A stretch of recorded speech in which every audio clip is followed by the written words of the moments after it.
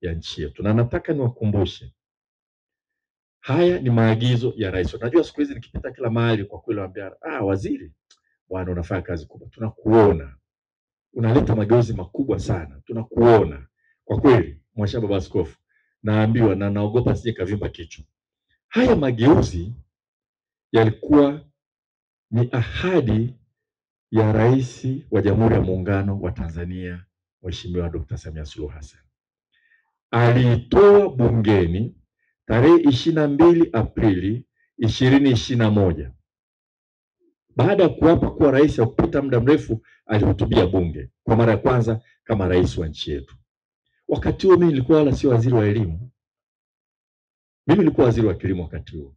Alitoa ahadi kwamba nitakuwa kisimamia serikali yangu nayoiongoza, maneno yake,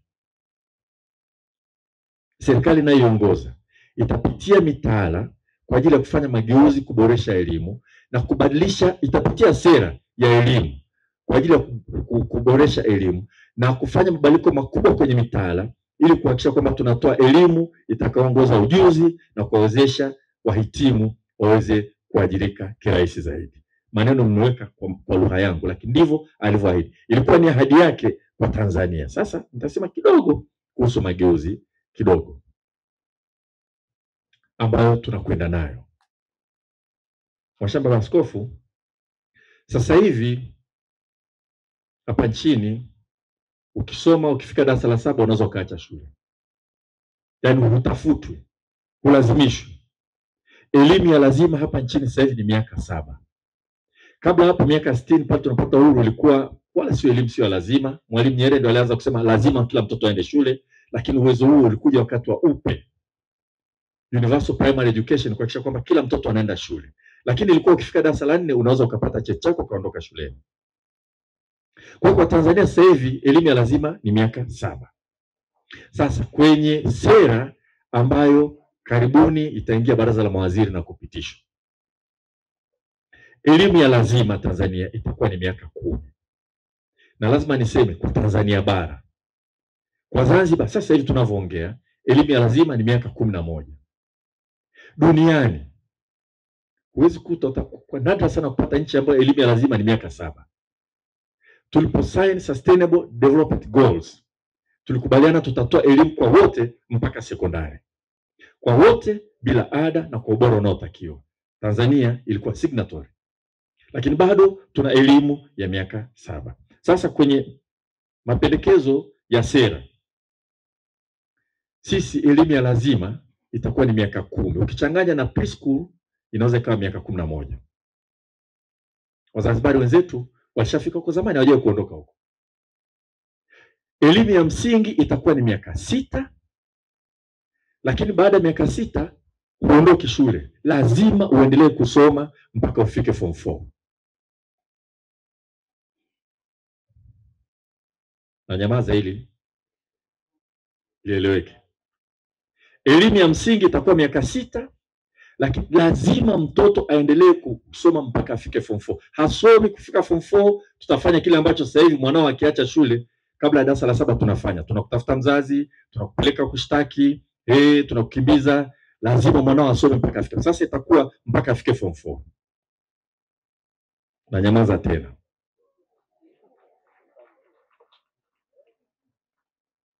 Sasa kwenye hili tu nataka nifafanue mambo mawili. Moja, ni uamuzi umeshafanyika? Jibu, hapana. Ni mapendekezo ambayo kwa kila dalili yatapata idhini ya serikali. Narudia tena. Je, serikali imeshafanya maamuzi sasa hivi kwenye hili? Hapana. Sasa hiki ni nini? Ni mapendekezo ambayo baada ya kujadiliana na wadau mbalimbali hata ndani ya serikali, ni mapendekezo ambayo nina imani kubwa sana yatapitishwa na serikali. Mpaka sasa hivi hayajapitishwa. Naamini karibuni tutaingia baraza la mawaziri, na naamini na imani kubwa kwamba yatapita. Pili, swali ambalo najua kila mtu atajiuliza, kwa hiyo mwanangu, sasa ikipita hii mwezi huu labda mwezi wa tisa ikatangazwa, sasa serikali ikatangaza mwanangu sasa hivi aliyo darasa la sita ndio anaishia hapo? Jibu hapana. Je, labda darasa la tano ndio ataishia hapo? Jibu hapana. Kalenda ya utekelezaji wa mabadiliko ya sera na mitaala mipya itatangazwa. Mapendekezo yaliyoko mezani ni kwamba moja, hatutaki utekelezaji. Uchukue muda mrefu sana mpaka watu wachoke kwenye mageuzi, na hatutaki tukurupuke sana mpaka tuvuruge kila kitu. Kuna nchi tena moja, lakini sihitaji kwa sababu za kidiplomasia, vyombo vya habari viko hapa, imeanza ma, ma, mageuzi mazuri sana. Ilikuwaga inaenda 844 plus, ikabadilika ikasema sasa itakuwa ni 6 kama sisi. 3 3 3 plus. Sasa kwa sababu utekelezaji wasema tutaanza kwanza darasa la kwanza, la pili, la tatu, la nne, la yaani utaendelea kutekeleza mpaka wa darasa la kwanza afike chuo kikuu ndio utakuwa umekamilisha. Kumetokea kuchoka, fatigue. Sasa wanataka tena kubadilisha tena. Sisi tumesema hatuwezi kusema tutaanza darasa la kwanza alafu huyu wa darasa la kwanza ndio atamaliza miaka sita ya shule za msingi. Watu watachoka kusubiri, lakini hatutaki kubadilisha mitaala yote kwa wakati mmoja, italeta vurugu. Ubadilishaji wa mitaala ni kazi kubwa. Hata sasa hivi baadhi ya private sector wanaanza kusema jamani, tuna vitabu vingi tunavyo, mnabadilisha mitaala, tutavipeleka wapi?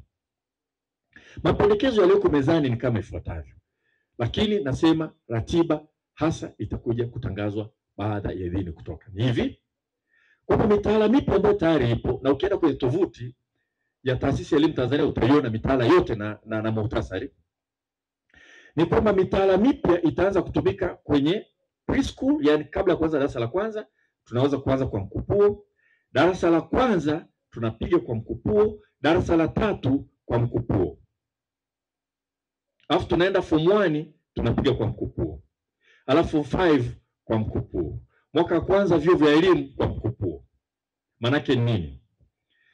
Ni kwamba utakuta shule moja darasa eh, preschool wanatumia mitaala mipya na darasa la kwanza, la pili mitaala ya zamani,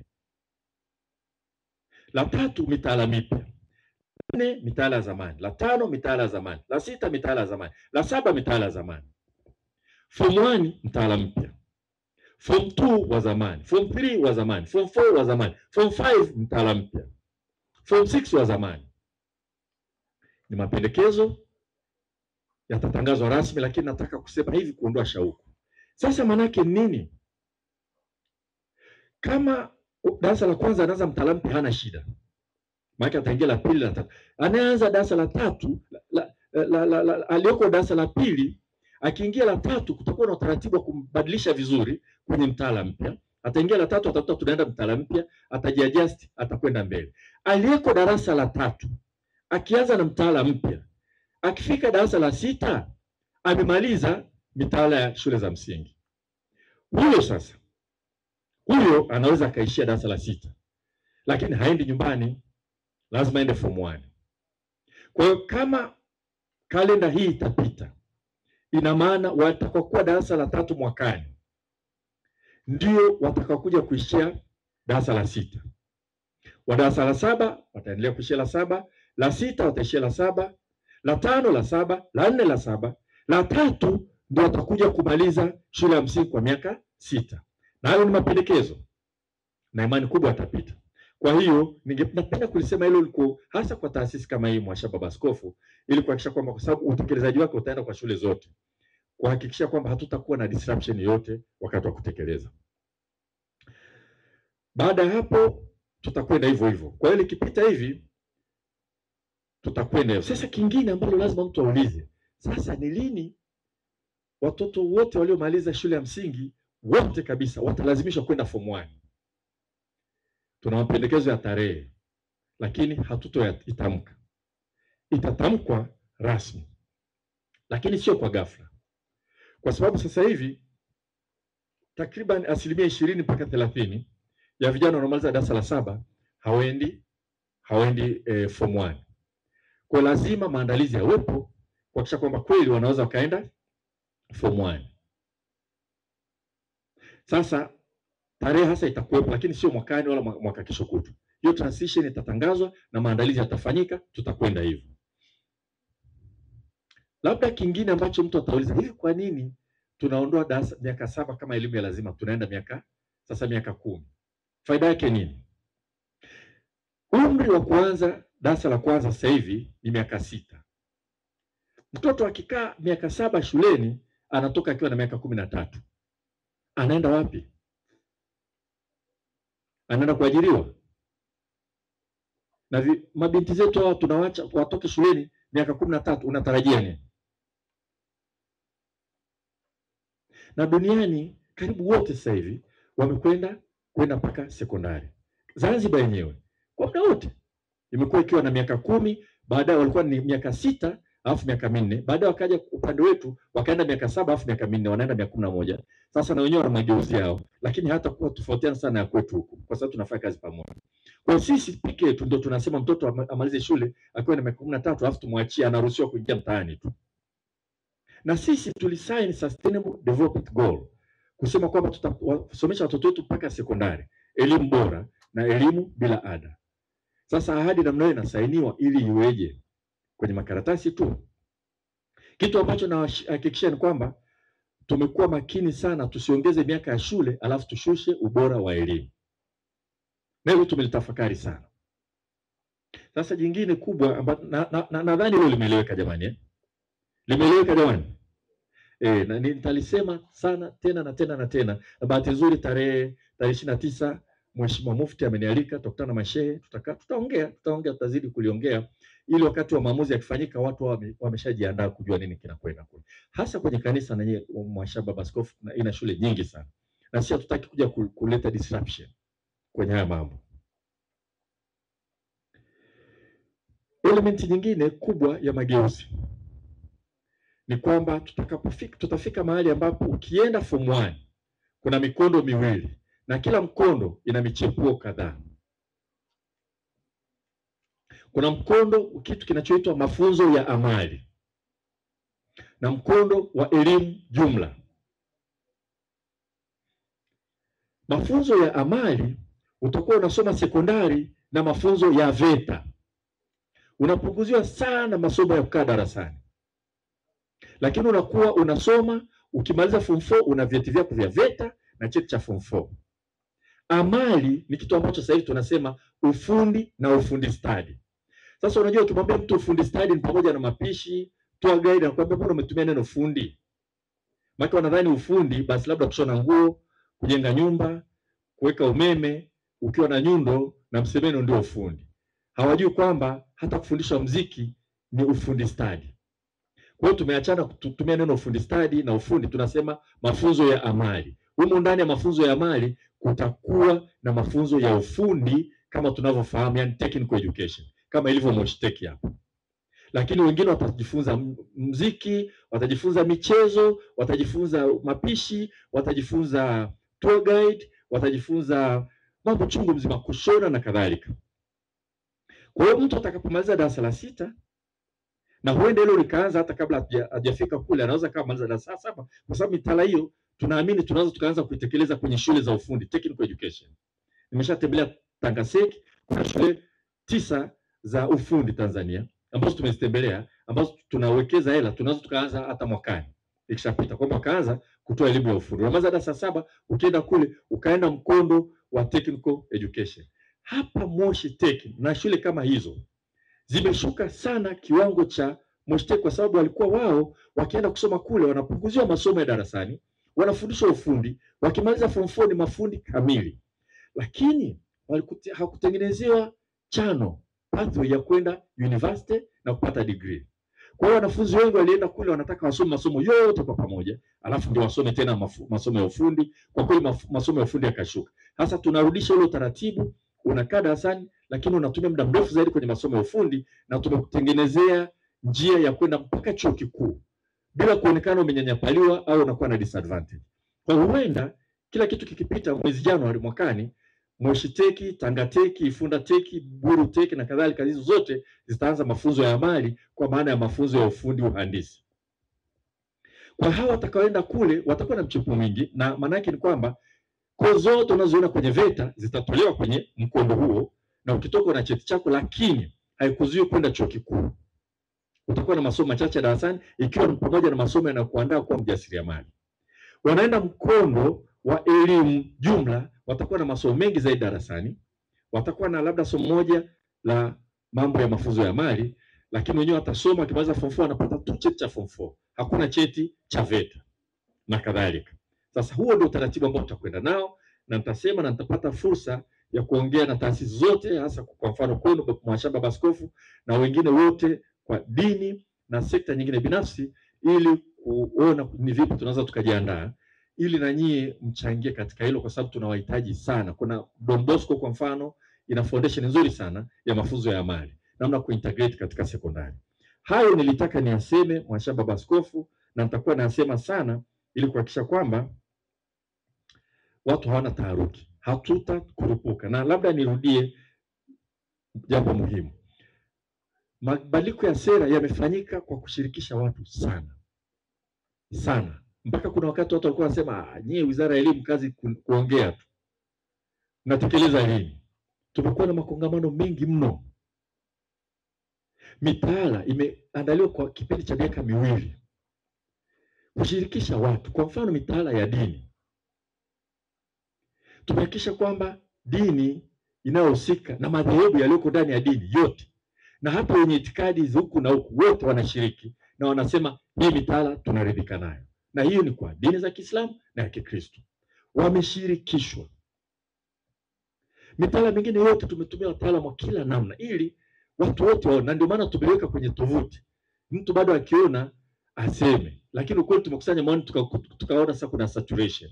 Tulifanya kongamano la siku tatu, lilitangazwa live, tulisikiliza. Maoni yanayotolewa ni yale yale ambayo tumekuwa tukiyasikia, tukajua naam, sasa ni wakati wa kwenda kwenye maamuzi.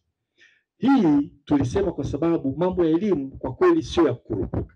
Siku naenda kukabidhiwa ofisi, nilisema yafuatayo: wizara ya elimu sio ya majaribio, sio wizara ambayo akija Kawambwa mbele nena, akija ndali chako kulia geuka, akija mkenda kushoto geuka, akija mwingine nyuma geuka, akaja mwingine mbele nenda.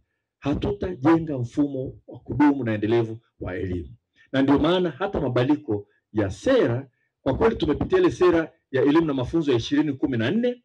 Haya yote ya miaka sita yalikuwepo wakati wa Kawambwa akiwa waziri wa elimu. Awamu ya nne ilikuwa inaongozwa na Mheshimiwa Dkt.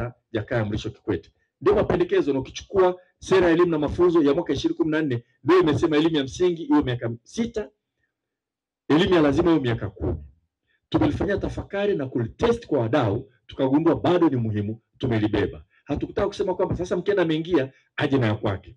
Tumepitia tume ya Makweta ya mwaka elfu moja mia tisa themanini na mbili tumeshangazwa, mambo mazuri, mbona yalikuwa yatekelezwi? Tumepitia kila kitu, tumejifunza kwa wenzetu, tumejifunza kwa waliojaribu wakafeli, na timu tumezipeleka. Tumepitia kwa waliojaribu wakafanikiwa, kwa hiyo tunajua kwa nini walifeli na kwa nini wamefanikiwa. Nataka kuwatoa tu wasiwasi, mageuzi ni makubwa ya elimu, na elimu ni jambo muhimu sana, lakini tumelienda nalo kwa makini kiasi hicho. Baba Askofu, nilisema tu nitumie muda huu kidogo kueleza hilo, na nitaendelea kulisema sana mpaka maamuzi yatakapofanyika kuandaa kila mtu, lakini tutapata fursa ya kukaa na wadau wote wa elimu kwenda pamoja. Lakini nachoomba tu, naomba wadau wetu kama kanisa tuanze kulitafakari, na uzuri, mimi naweza kakwambia hata kwenye makongamano moja alikuja Mwasham Baba Askofu Method Kilaini. Alikuwepo, Sister Joyce Mboya ambaye ni katibu wa wa teki wa elimu alikuwepo, katibu wa elimu wa BAKWATA alikuwepo, Morogoro Muslim alikuja kwa wingi, walishiriki. Wazanzibari tuliwakaribisha. Aga Khan Foundation ya elimu ambao ni wenyewe wanatoa wanatoa degree ya elimu sasa hivi walikuwepo, kwa viongozi wa dini na kadhalika, wengi walikuja, na walimu wameshirikishwa, wanafunzi wameshirikishwa, e, maafisa elimu wameshirikishwa. Nadhani mlikuwaga Mwanza, sijui kama sikosei. E, Mwanza wameenda wakapitishwa wote, kwa sababu wana, uzoefu. Tumekwenda hivyo na bado tutapenda kukaa na wadau ili tuhakikishe tunakwenda vizuri. Napenda kuhakikisha na hilo limesemwa na katibu wa elimu e, alikuwa anasema kwa niaba, lakini kwa niaba ya jimbo kwamba tumefanya maamuzi haya maandalizi ya mageuzi, tukifanya makongamano ya maandalizi, hata shule ambazo sio za serikali, walimu wakija, tutajaribu kuakomodeti kwa gharama zetu sisi serikali, ili tuhakikishe kwamba tunakwenda pamoja, kwa sababu hawa wanaofundishwa humu ni Watanzania, ni Watanzania. Na na tusingependa mageuzi haya yakawa kikwazo, na bado tunafikiria nini cha ziada cha kufanya kuhakikisha kwamba hata shule ambazo sio za serikali tunaweka mapito ya kwenye mageuzi yawe ni rahisi kadiri inavyowezekana. Tutaongeza jitihada kwenda hivyo na tutashauriana ili isije kaleta disruption sana kwa shule zisizo za serikali ambazo tunazithamini kweli kweli. Tumedhamiria tunaboresha elimu yetu.